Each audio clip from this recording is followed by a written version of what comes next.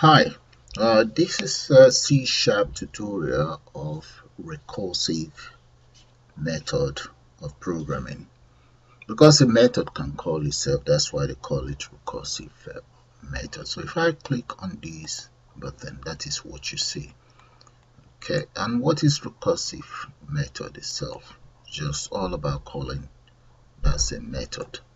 Now, but this is factorial in the case of factorial, factorial are used in many areas of mathematics, particularly in a combination and permutation.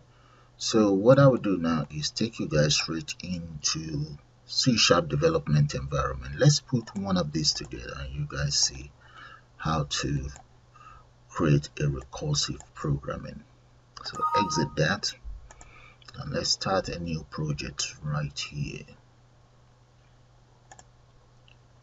Okay let's click on new. And we can give that the name. I think we should call it recursive. Okay so let's go for that recursive method call there. That is the name of my project. Click on ok okay my form is ready. So what I will do next is let me, let me go straight to project and let's create a class. I'll just call that the same name I called the previous tutorial. I'm going to call that class number manipulator. That's fine. Yep.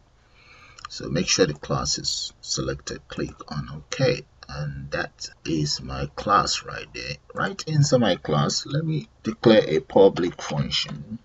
Public long integer and the function is going to be called factorial. So let's say long number.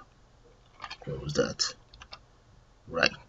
Now we enter two uh, curly braces there. So let's say long result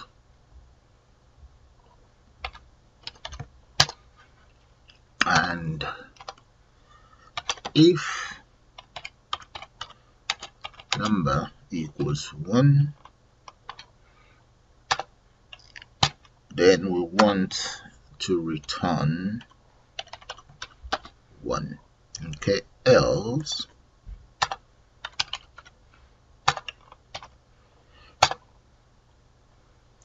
result equals factorial number minus 1 then multiply that by number itself. And that's how you write your code for factorial. There. So all I just need now is to create what you class what is known as object on my form so let me copy that. So I'll come right in here and let's create as follows. Let me get another rich text box. There we go. Rich text box and we're gonna need three buttons. Let's come in here and grab me three buttons. One copy that button across to 3 okay right inside this very button I'm going to double click on that. And I will enter the following that I copied that is the the class name there. Number manipulator let me call that n equals new manipulator. There so that's my object created so now let's call my rich text box rich rich text box one dot append.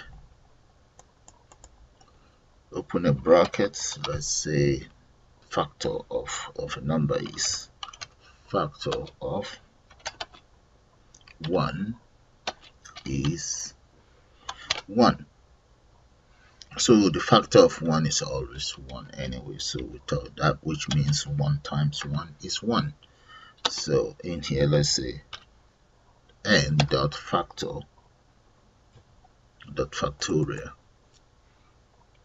open a bracket that is 1 plus I need it to give me new line there. So semicolon there. So that is for 1 so if I copy that across I can just make that for 2 2 3 4 5 so I can change all of these. To 2 3 4 5 so we have 5 4 3 2 so if I run it okay let's run it and you guys see what's what will happen there. And we click on this that is what we get. You see that guys?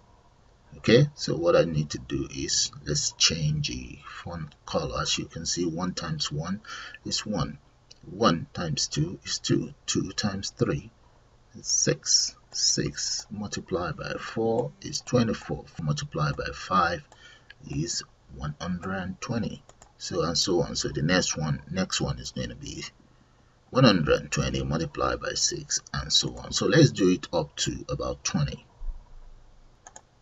and right there guys. Okay and I have the factorial up to 20 so the next thing I'd like to do is let's let me come in here double click on that and just clear copy that paste that in here and let's say dot clear enter parenthesis now let's take care of the exit. Double click on the exit. So let's declare dialog for that. Dialog i exit. All right so let's say i exit. Equals message box dot show and what we want is confirm if you want to exit. Okay and let's enter this there and just call it. Maybe we just call it factorial there that is the name of the message box and here let's enter another message. Let's go for message box button. Dot yes no. Comma message box icon. Dot question. There. Okay right here let's use an if statement to compare if I exit equal dialog do that again equal dialog result. Dot. Yes.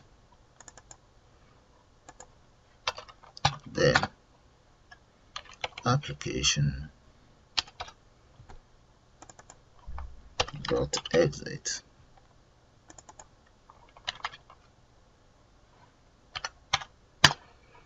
there.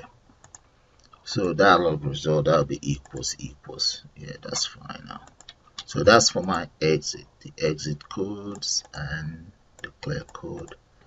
Now we have the code for the factorial function. Then in here in the class those are the lines of code that actually work out the factorial. As you can see result equals factorial number minus 1 multiplied by that number. Mathematically you can always check that out. Mathematically you should find the answer. So if I run the program now click on that that's what we get. But let's increase this font size. We can clear we can exit. Okay exit yeah so let's increase the font size. Come to the property and just come right up here. Let's change that maybe to bold. Maybe 36 or 28 run it again. There we go guys. And that's how you create recursive method of programming in C sharp. So with that I'm going to call it the end of this program. Bye for now